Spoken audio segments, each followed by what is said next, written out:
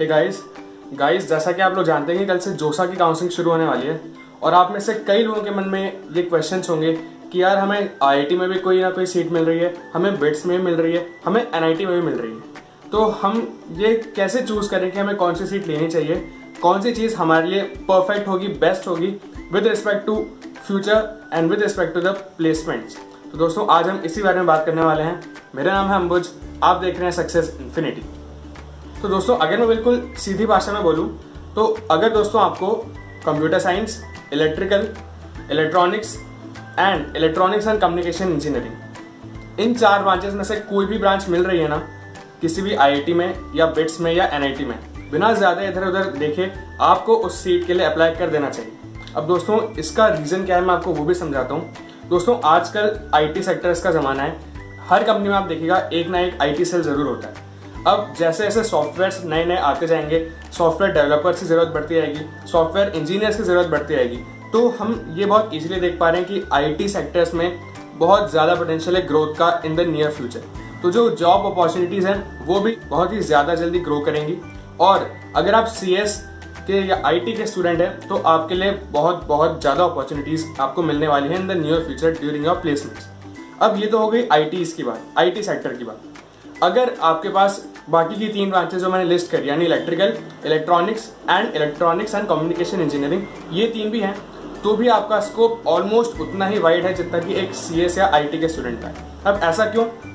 क्योंकि दोस्तों, ये जो पूरा का पूरा सॉफ्टवेयर वर्ल्ड है, जो कि पूरा का पूरा आईटी का सेक्टर है, ये बेसिकली नैनो टेक्नोलॉजी जो आपके इलेक्ट्रॉनिक्स डिवाइसेस हैं, जो आपके चिप्स हैं, जो आपके सर्किट्स हैं, उन पे काम करता है। तो जैसे जैसे नए सॉफ्टवेयर आएँगे, जैसे जैसे अपग्रेडेशन होता जाएगा टेक्नोलॉजी में इन टर्म्स ऑफ़ सॉफ्टवेयर जो हार्डवेयर है, जो बैकएंड में काम कर रहा है in the form of circuits in the form of chips and all उनको भी आपको धीरे धीरे अपग्रेड करना पड़ेगा।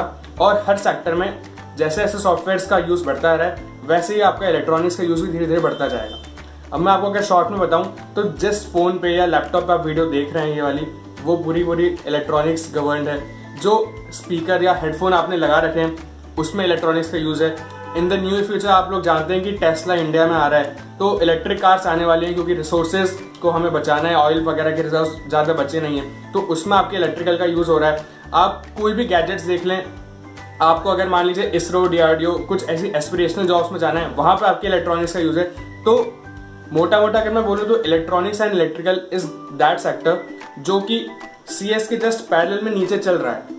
और जैसे जैसे सीएस में आपकी ग्रोथ होती जा रही है सी एस सेक्टर में, वैसे वैसे इसमें ग्रोथ होनी ज़रूरी है। क्योंकि अगर ये ग्रो नहीं करेगा ना तो एक लेवल के बाद आके आपका जो आई टी सेक्टर है, वो भी स्टॉप हो जाएगा ग्रो करना। तो बिल्कुल सीधी बात अगर मैं शॉर्ट में बोलूँ तो अगर आपको इन चार ब्रांचेस में से कोई भी एक ब्रांच मिल रही है, किसी भी आईआईटी में बिट्स में या एनआईटी में तो आपको वो ले लेनी चाहिए। ऐसा मेरा मानना है।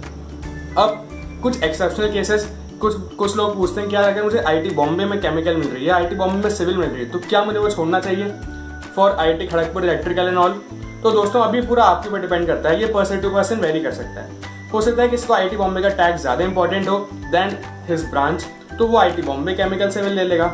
हो सकता है कोई ब्रांच स्पेसिफिक रहना चाहता है, किसी को उस ब्रांच से रिलेटेड फ्यूचर में कुछ रिसर्च वर्क करना है या एस्पिरेशनल जॉब्स करनी है तो फिर वो आई टी इलेक्ट्रिकल के लिए जा सकता है। पर अगर मान लीजिए कुछ ऐसा केस है कि आपको किसी लोअर एनआईटी में केमिकल सिविल मैकेनिकल ऐसी ब्रांच मिल रही है बिट्स में आपको सीएस मिल रही है या सीएस नहीं तो इलेक्ट्रिकल मिल रही है तो उसमें I would recommend you to go for BITS और just not for BITS but for the branch मान लीजिए आपको बिट्स में केमिकल सिविल मिल रही है बिट्स में आपको सी एस इलेक्ट्रिकल वगैरह कुछ नहीं मिल रही। और आपको कोई अच्छा एनआईटी में जैसे एनआईटी आपका त्रिची हो गया, वरंगल हो गया, इन सब में आपको अच्छी ब्रांचेस मिल रही हैं इलेक्ट्रिकल ईसी ये सारी ब्रांचेस मिल रही हैं then you should surely go for the N I Ts दोस्तों, कुल मिला के बात यह है कि ये जो चार ब्रांचेस मैंने आपको बताई हैं C S electrical electronics and electronics and communication engineering इन चारों में आपका बहुत बहुत वाइड स्कोप है, आपका जो पैकेज है, वो भी आपका अच्छा खासा लग जाएगा और वो कंपनी की ग्रोथ और जो स्कोप है बहुत वाइड है तो आपकी जो सैलरी है, हो सकता है आपको शुरू में थोड़ा लो पैकेज लगे, लेकिन आपकी एक्सपोनेंशियल ग्रोथ होने की चांस बहुत हाई है। क्योंकि जैसे जैसे डिमांड बढ़ती जाएगी, वैसे आपका ग्रोथ का रेट भी बढ़ता जाएगा। तो दोस्तों आई होप कि आपको वीडियो पसंद आई होगी, आपको समझ में आया होगा कि यार हमें कैसे ये चूज़ करना है। हम आई में जाएँ कि बिट्स में जाएँ कि एन में जाएँ? अगर तो आपको ये चार ब्रांचेस में से कोई मिल रही है, किसी भी अच्छे कॉलेज में out of I I T BITS and N I T then you should certainly go for that without ever thinking again और अगर आपको ये ब्रांचेस नहीं मिल रही, मान लीजिए आपको आई में ये ब्रांच नहीं मिल रही तो लोअर ब्रांच मिल रही है लोअर एन में, कुछ लोअर आई में then you should go for BITS अगर आपको बिट्स में भी ये ब्रांचेस नहीं मिल रही then you should go for N क्योंकि कुल मिला के यही चार ब्रांचेस हैं जो आपको फ्यूचर में अच्छा प्लेसमेंट ला देंगी और अच्छा ग्रोथ ला देंगी. तो चलिए दोस्तों, अगर आप और ऐसा कंटेंट चाहते हैं तो please mention it in the comment section आपको किस टॉपिक पे वीडियो चाहिए? कौन से ऐसी चीज़ें जो आपको परेशान कर रही है? नीचे मेंशन करें कमेंट सेक्शन में. You can also mail your queries your doubts to me at my mail mission physics nine thirty nine at G mail dot com जो डिस्क्रिप्शन में मैंने दे रखा है। तो चलिए दोस्तों, मिलते हैं हम नेक्स्ट वीडियो में। जय हिंद, वंदे मातरम।